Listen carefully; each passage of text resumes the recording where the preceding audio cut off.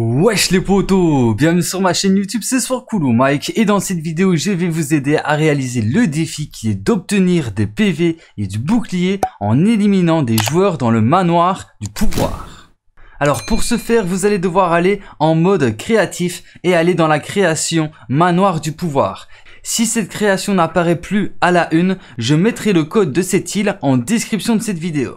Alors ce que vous devez faire c'est très très simple, vous devez être minimum deux joueurs, donc vous invitez un ami à vous aider à réaliser ce défi, vous vous rendez dans ce manoir et vous tuez votre pote, vous récupérerez 52 shields et comme ça vous validerez votre défi. Rien de plus simple. Donc voilà, c'est tout pour cette vidéo. Je fais une grosse dédicace à Valentin qui m'a aidé à réaliser cette vidéo. Et j'espère qu'elle vous aura été utile. Si c'est le cas, n'hésitez pas à liker, à partager et à vous abonner si c'est pas encore déjà fait. Et sur ce, moi je vous dis à très bientôt pour plus de vidéos. C'était Soit Cool Mec. Et ciao Peace